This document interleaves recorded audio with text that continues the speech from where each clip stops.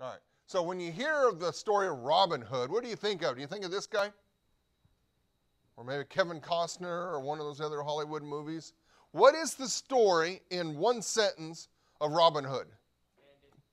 Bandit, Bandit, go ahead. Steals from the bad, and gives to the good. Steals from the bad and gives to who? The. To the good. Who is the bad in the story? The rich. The rich. Who is the bad or who's the good? The poor. The poor. That's wrong. You're, you're right. That's what you've been taught. That story has been perverted into an anti capitalism story. But that is not the real story. I actually have a copy of the original story. The story actually goes like this Robin Hood steals from the king who is overtaxing the people and giving it back to the people who he took it from. That is not taxing the rich and giving to the poor. That's taking from the government, a tyrannical government, something of which it does not belong to the, the government, and giving it back to those who it does belong to. That's the real story of Robin Hood. Now, here's the thing nobody really knows if this guy actually existed. There are several stories in English, are written in English, in English, uh, uh, the legal they, when they did their court systems, it's kind of like what we do today. There's a written record of who was charged for what and that kind of stuff. There are several people, individuals, who resemble this story, but no historian will come down and say there is a one Robin Hood, and this is this is more or less a story of it's a moral lesson, is what it is, against a tyrannical government system, but it's it's a collection of myths and ideals. Okay, just understand most of your Disney movies has been perverted from what from the original meanings. Even the Wizard of Oz, it's not what you think it is. Um, but anyways, the, now let's see who's calling.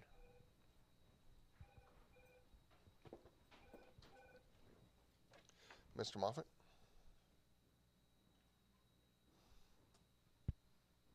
Okay. Mm-hmm. Would you go see Miss Kaplan, Brian? All right, the next Liberty document. It's the Magna Carta of 1215. Most classes would start with this document.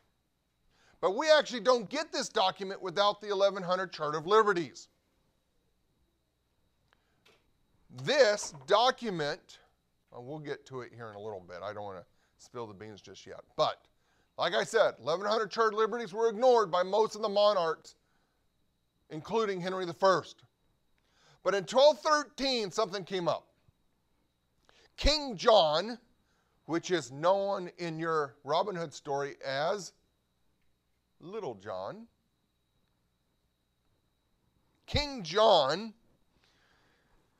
wants to appoint the bishops. Who's going to be bishops in the church? Among some other things. But the key point here is that he wants to control who's going to be in church leadership. Archbishop Stephen Langton and the Pope disputed king's, the king's position. This went on for quite a while, and, and Stephen Langton, the Archbishop, he's running a risk. He's running a risk of being executed for defying the king. But he's standing his ground. So, here on this slide, the key thing for you to understand is that the 1100 Charter Liberties were ignored by most kings. But in 1213, Archbishop and the Pope has a dispute over King John with King John over the church appointments. Those are the two main points on here that you should understand.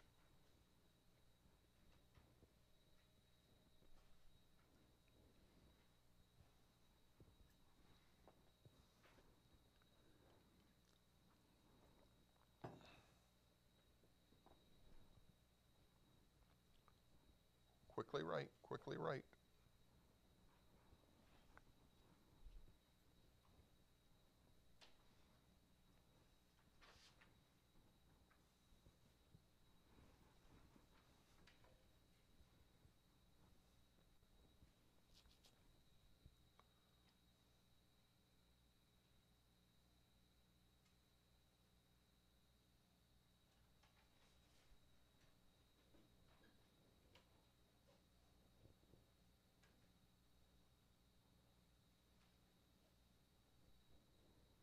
Okay, I cannot speak Latin for the life of me, but Magna Carta Liberatum, I know I'm not saying that correct.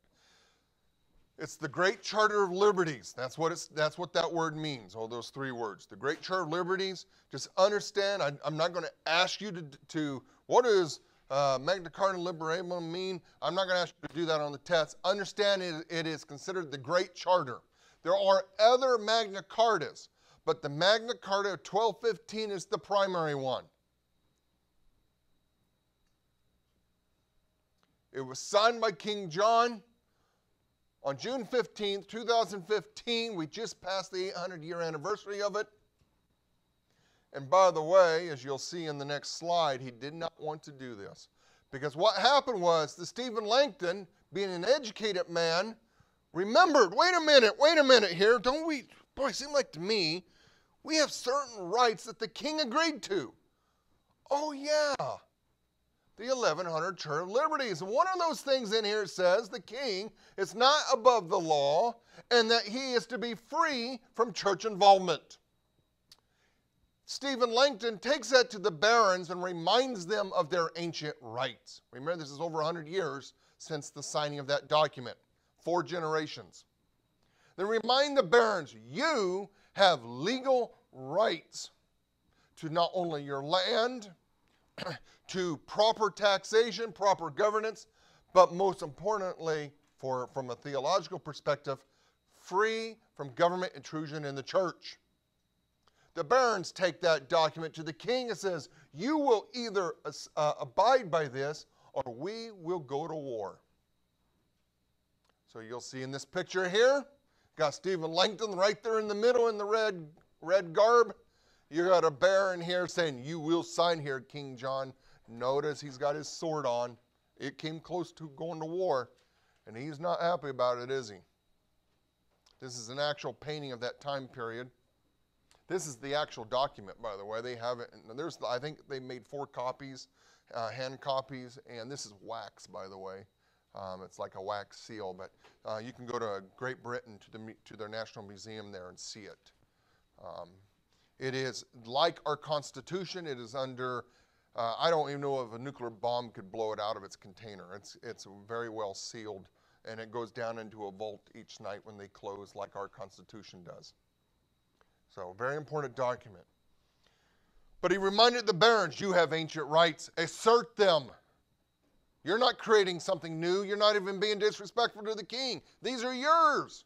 And the baron said, oh my gosh, that's right. We forgot about these. So they signed the Magna Carta.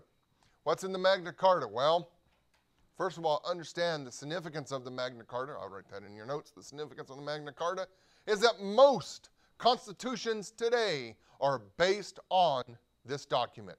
Most constitutions in the world is based on this document.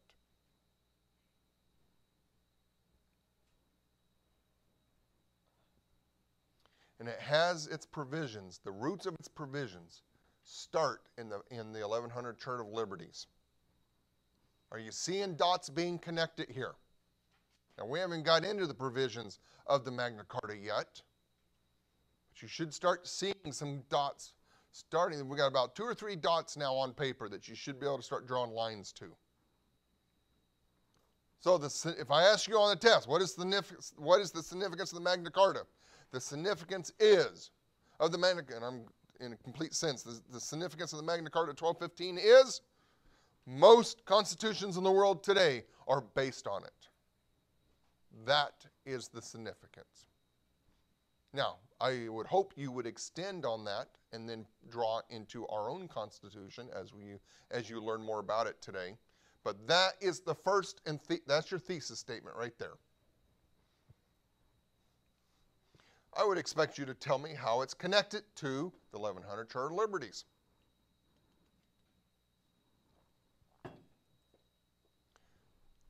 The three primary things we still get from this document today. Oh, by the way, let me back up. One the first statements in the Magna Carta reasserts all of the rights in the 1100 Charter of Liberties. So the Magna Carta does not stand alone. It says, in addition to the 11, and I'm paraphrasing, in addition to all the rights and liberties asserted in the 1100 Charter Liberties, the following also apply. And the three that we care about today is parliamentary government. For the first time, we have representative government.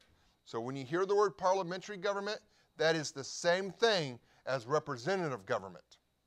We don't use representative government at this time frame yet. It's called parliamentary government. But for the first time in English law, we have parliamentary government, representative government. We also, for the first time, have taxation through representation, which comes through parliamentary government.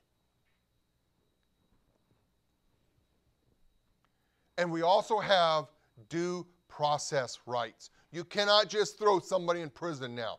That individual now has a right to challenge that incarceration. He has a right to know why he's in uh, why he's in prison, and he has a right to a trial.